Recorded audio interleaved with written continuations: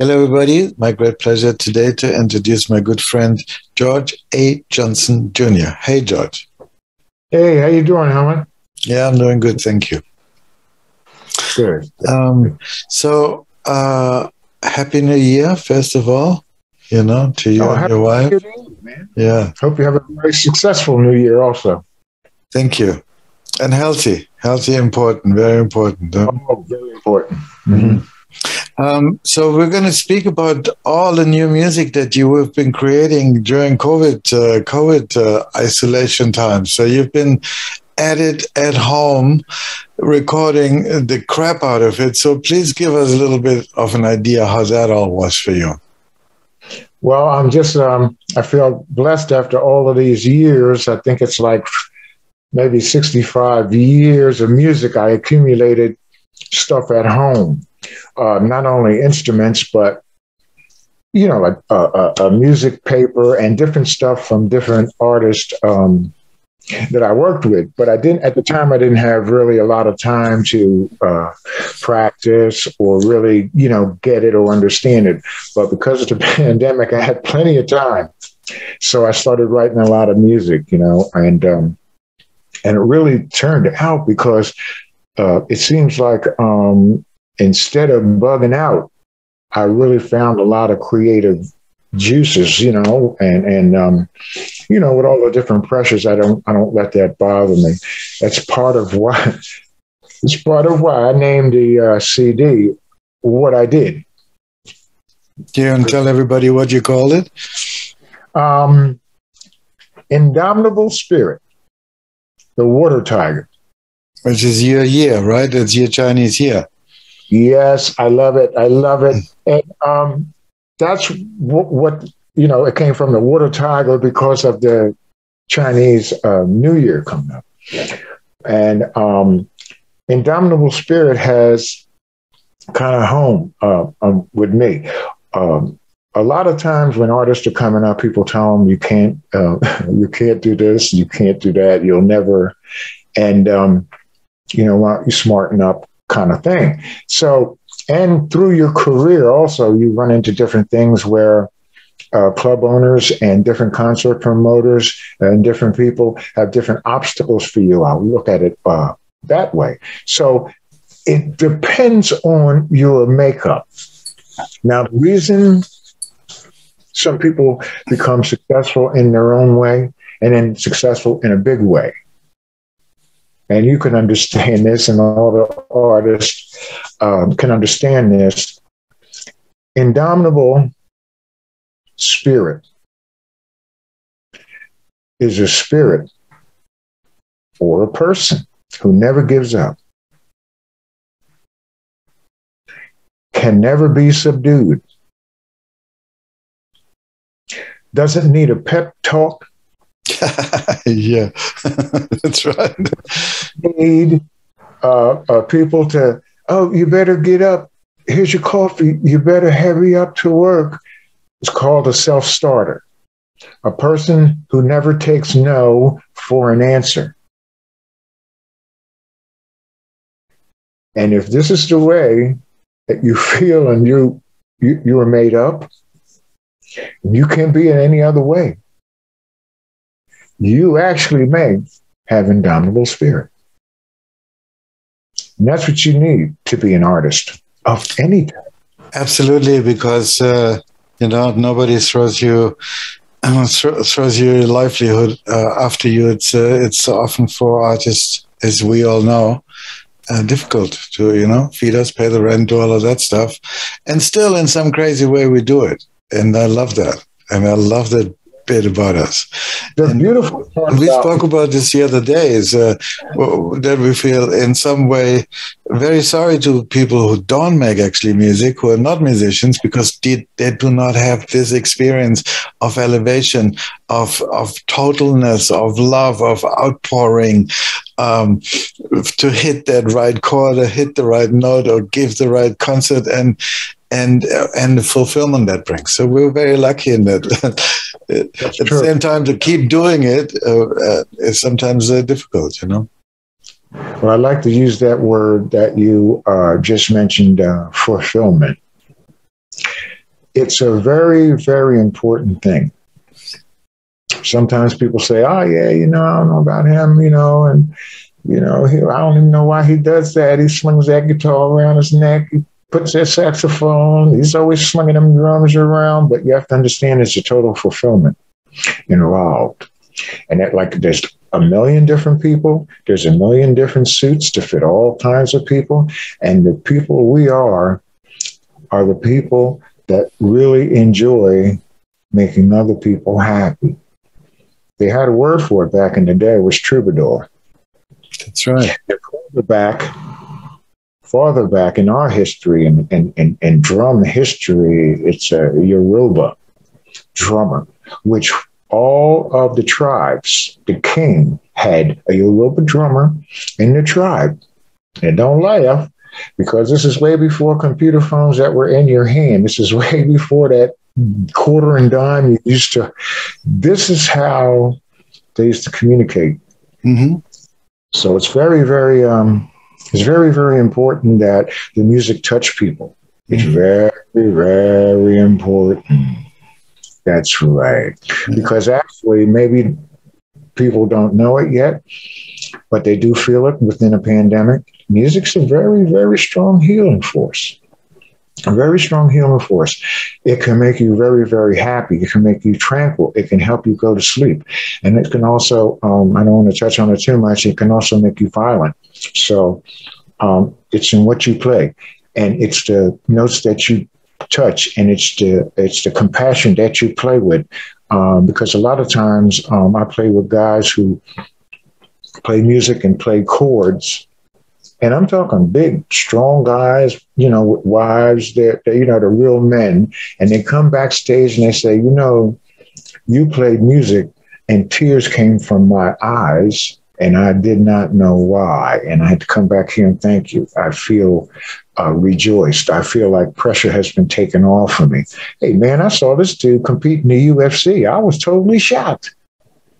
You know that thing Glory over there in Europe, they travel around with them them fighters, and they, you know, them that boy was something else again. The lights got dim when he came in. I hope everybody was paid up, but uh, the compassion that music has is virtually untouched.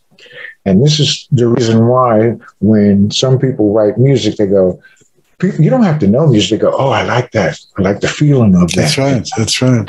That's because the musician has been the same place you were, although they weren't with you and they never met you.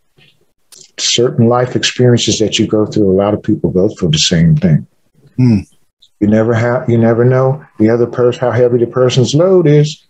Yeah. But back yeah. to music, I wrote, I, I finally uh, got the chords and the voicings to create some music that was compassionate and I was really unthankful. You know, if I like to talk about some of the songs, uh, some of the songs I wrote, like um, like uh, the migration was like kind of like my experience with uh, Jimmy Garrison. When I lived in New York, and migration is a kind of a song that moves, and it's kind of like an intro, but it's a time, and it's a piece of music that gives you a feeling of warmth right away. That's the first song that I'm going to have on the uh, new CD. Guys are soloing on it. It's a warm feeling. And I was born and raised by the Atlantic Ocean. And we used to go down to the ocean, you know, thumb it down the ocean and have some sandwiches and go down, man, and like, you know, listen. And if you hear, you just listen, you got to use two of these. Okay, close that, use two of these listen to the waves crack on the jetties. Man, is that a drum solo? That's music. And I finally found out that the waves make love to the beach continuously. Mm-hmm. It's a whole other level. It's a whole other level. But that's the kind of music and that's the kind of feeling. When you get into the ocean, it's like a getting a big hug in this nice warm water. And it's like a whole rejoicing spiritual situation. And that's like the migration. But then from playing like with McCoy Tyner and Charles Earland, having such high, high intensity, playing with high, high intensity uh, piano players and organ players. The guys are mentally advanced, and I was lucky enough to get some lessons. But I'll tell you that song that I wrote, "The Only Color Is Love," is one of those high intensity songs. Now, when I played with McCoy and I played with Charles Earland, I played with Charles Earland in, uh, in 74 at the Montreux Festival. I played McCoy at the Montreux Festival, but the level was so high. And these songs are an hour and 15 minutes, hour and a half. That's how I was raised. I mean, I mean, I mean, I mean, it goes without saying. I know. I saw you. I saw videos of you as a young man at the Montreux Jazz Festival working your butt off uh, yes. keep up with what is going on. And uh, you know, you were kind of that was a that was a massive gig to play with uh, McCoy Tyner. And uh, right, that's right. Yeah. I saw you working it, man. Amazing. You know, you're a young guy. It was wonderful, man. Mm. Wonderful. Almost about 15, 20 pounds every show, but I mean, it was wonderful, man. I, really, I, I, really loved it, man. It, and see, that's a whole other thing about the, the, the, the music. If you're in love with the music, certain things happen. Uh, maybe I'm a little superstitious or I'm a dreamer. Hey man, I had no money with my career in the beginning, but I lived in New York. I lived with Jimmy Garrison. I lived with Buster Williams. I used to thumb it and make it to New York on time for all the gigs. I never really uh, late for a gig, and I, you know, I mean, and Buster Williams lived on the 17th floor to negotiate the elevator to get all the rooms down there and get in the Oh man, that's good. You had an elevator. hey, man, you have not lived until you talk to a lady that's got a, a, a, basket of clothes on her hip that's going down to wash clothes. She don't care about you going to no gig down there, man. So right. these are kind of things that really create and and and, and mold your career. And, look, like, Judge, what I find interesting, um, obviously you're uh, uh, an amazing world-class jazz drummer, but um, we know each other now, maybe 14 years or so, and worked together for around that time.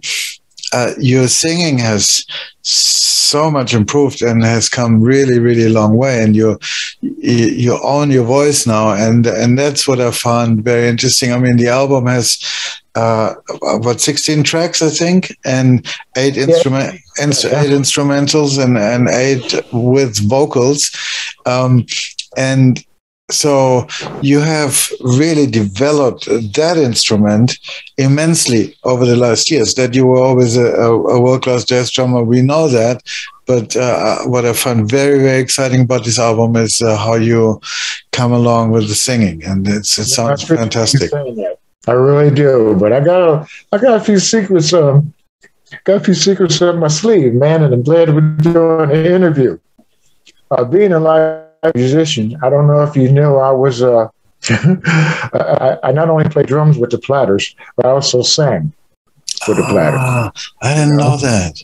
Yeah. When the twilight is gone and the songbirds are singing. Well, you know, I had a ball, man, and then it was okay. the drifters. The drifters, you know, you sang so, with them. Yes, yes. I didn't know and, that either. Man, my wife, man, she gonna have you cracking up. I had it playing drums all the years, right? And she hung with me through Grover, McCoy, everybody, Swinton, Lonnie Liston, everybody, Charles. Man, I was flicking my finger. You know how you do steps and you go, you know? Yeah. Then twirl around. You see that hand? Yeah my wife died. I had this thing called a doo-wop injury from flicking your finger. I'm used to playing the drums. I'm flicking my finger so hard, my knuckle on the second. I look at that knuckle. That thing looked like a that looked, like, it looked like an orange or something like that. That's so funny, man. I never got hurt playing the drums. I swear. And I'm singing with the guys had a doo-wop injury, man. yes, sir. Yes, sir. You never get it like that. That and is funny. I was I was really blessed, man, to um, uh, have that gig at um, Autumn Lake, and I've been practicing every day. It's gonna sound funny. Hey, Helmut, I'm 69 years old, man. I still practice. You know why? Because you're never that good that you can't get better. Sure. An old dude uh, uh, told me once you get satisfied, that's the other word for dead. you don't get satisfied. You always try to get better. Mm. So I took it, man, you know, but really I feel blessed, man, to to to have really um I, I wrote the songs and and I really practice every day uh the, the singing and and and I got really blessed to have the gig at um Autumn Lake. And people say to me, Oh man, this George. I mean, these guys had cracked me up. Guys at the winery and the other uh, musicians over here that uh, and they, they do things. They go, "Hey man, six hours, man. I said, what are you doing, man? What are you doing? See, they don't understand. I messed around and fell in love. So what happened is, in the beginning of my career, I don't know if people, you know, people play three hours, three hours. Okay, I ain't gonna say nothing. When we were growing up, a job was five hours long. Okay, Everybody was trying to sneak in the bar with the collar up, the big hat, trying to get the girls, the girls trying to get the guys. We played from nine o'clock to 2 a.m. That was like general. Yeah, I mean, they, they didn't have uh, radios or, you know, all this technology that they have now, or DJs. Um, we had to actually, we had to actually, uh, back then, we had to do long gigs. I know, sets. Right. That's right. So that so being that that's where you started from, singing five hours a night. Man, six hours ain't a problem for me. I'm like banging. I was banging up five hours worth of arrangements and stuff and singing background and singing this and that. See, I make money for music, man. Little bit of money but one guy, one lady told me, she said, you take that little bit of money, you put a little bit of that little bit of money aside, and you keep going, and that little bit of money rolls up to a little bit bigger money, and you put it somewhere and you start saving again. And that's what I did. And it means something. It really means something, man. But uh, I'm singing over this place, man, and it really turned out when you do stuff unconditionally. I never knew my voice was going to go where it went. All mm. I was mm. trying to do was, you know, wow, man, I got to just do better. Yesterday, I did okay, but I didn't really, I could do that better and I could do this better. And if I keep going, and what I found is the more you sing, it kind of stretches the voice. And the more that you sing, and I'm playing piano, you stay with the A440, so I'm in the center of the tone, center of each tone. So I feel real good about that. And like I did two hours yesterday because I had to run out and some food shopping and stuff, you know. And uh, I do about maybe four or six hours a day with the with the singing, and I back it up with the piano, and then I lay it out at night with the drums, and it's like an infatuation. But I'm never bored, so it's a good thing. You know, it's mm. really, really a good thing. And 12 songs, right? 12 originals. I feel good about it. And the vocal songs I kind of fell in love with because I kind of do like a, I call it dinner show. I kind of call it, you know, a dinner show because like the songs I was mentioning, like New Mud Bone is kind of like an orchestration.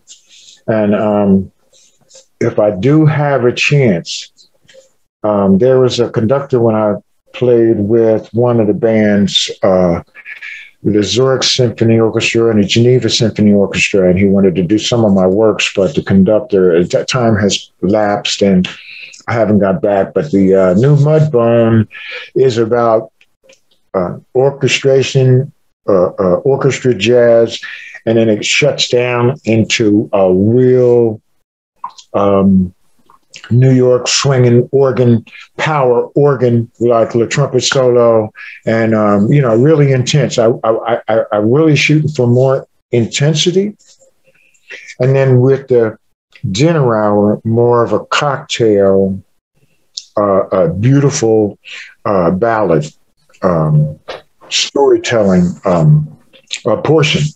So when I do the concerts, that's exactly how I have it set up. And I set up all my CDs to be as a moving concert. So guys are going to get ready, you know, they have, they'll be able to play for you and you'll really enjoy it. I mean, I have uh, organ, uh, vibes, which is a different instrument people don't hear a lot.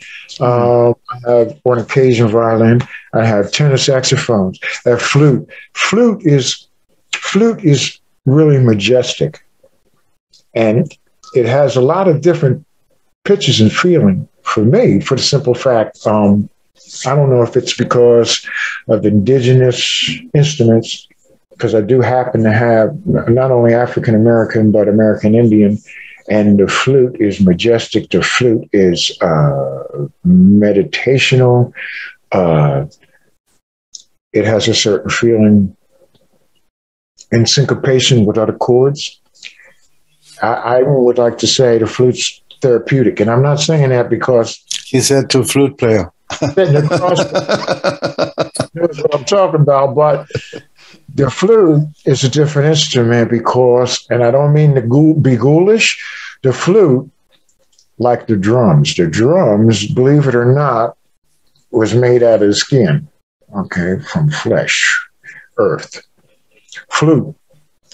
Made out of, out of bamboo, was made out of wood.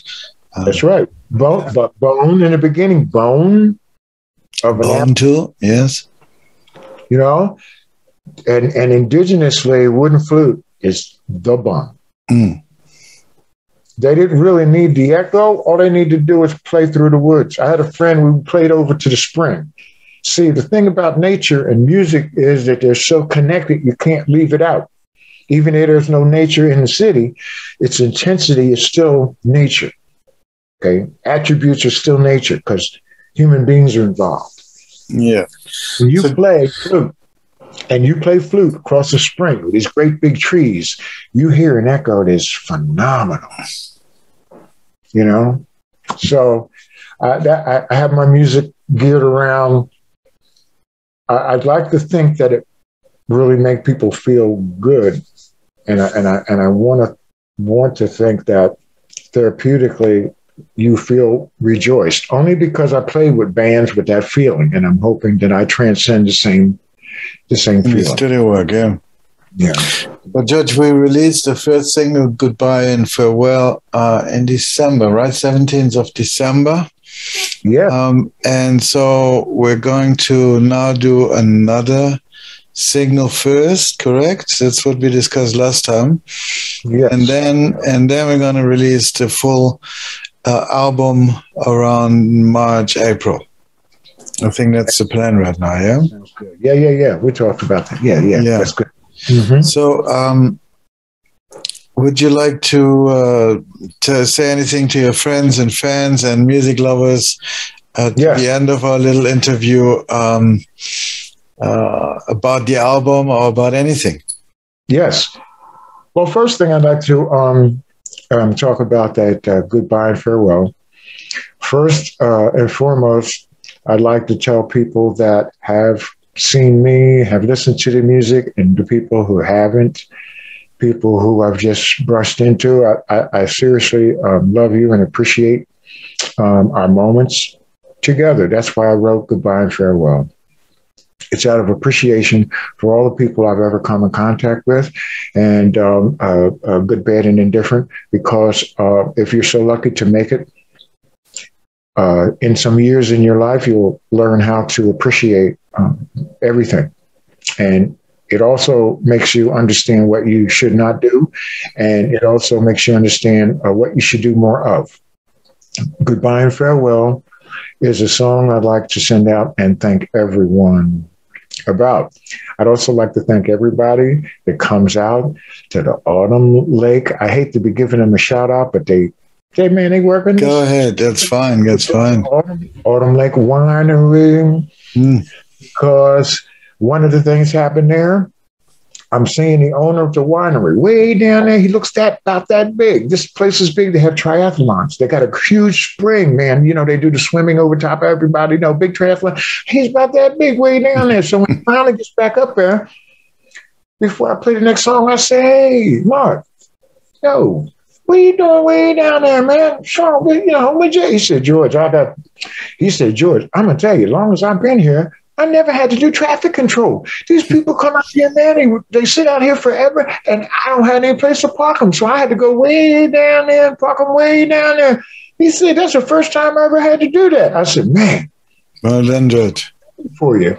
I said, I guess the wine is good. He said, George, I'm here seven days a week and the wine is good, but they ain't out here every day.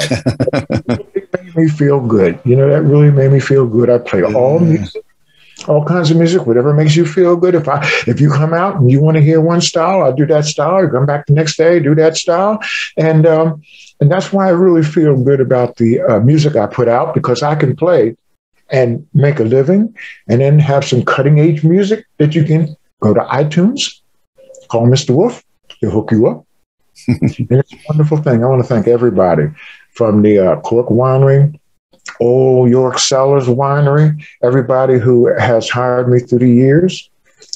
I am still available at a very, very, very modest price.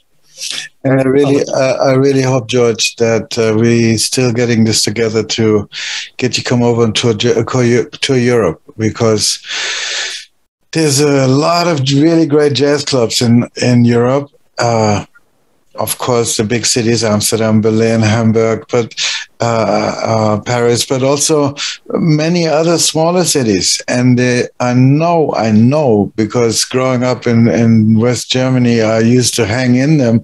Yeah, a lot, a lot of jazz clubs. Oh and yeah. So we have. I mean, you've been touring them yourself many times.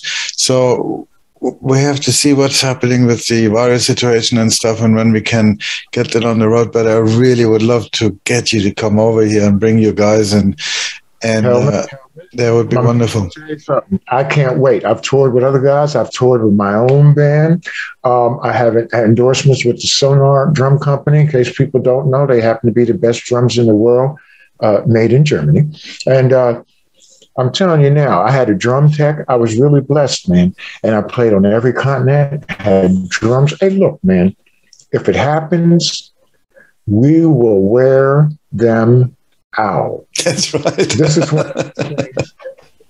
hey, man, I'm sorry, man. I'm sorry. This is how we roll. Hey, look, it's either 100% or no percent. I'm yeah. sorry, man. And that's how you do it. That's, that's how you do it. You don't go, oh, next time, see, because check out you don't know where that sand is in the hourglass. It could not be a next time. That's right. So all I want to say to everyone, I want to say thank you very much. And thank you for being so compassionate. I appreciate each and every one of you. And thank you, thank you, thank you very much. Oh, well, one more. You. Thank you. Ah, here's the tiger. Look at it. George A. Johnson Jr., the water tiger. Love it, love it. Awesome. We're gonna have to find uh, where we where people can get that T-shirt. Uh, put, you know, take pictures and put it in the Wolf Entertainment Facebook group, and uh, and do a bit of marketing for it. My man, I, my I want one.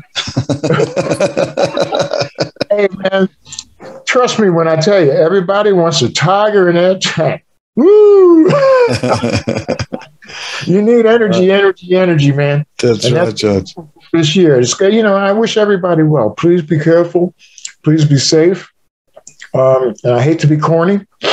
Uh, you know, Hulk Hogan used to say, you know, take your vitamins and say your prayers. It ain't too funny now, though, is it? That's right. Hey, look. All right, Judge. Well, again, thank you very much, and uh, yeah. good luck with the album. And um, Thank you. Thanks for having me, Helmut. Thank in you. regards to your regards to your wife, and uh, much love to you. I just want to say, man, my wife is tougher than a Waffle House steak.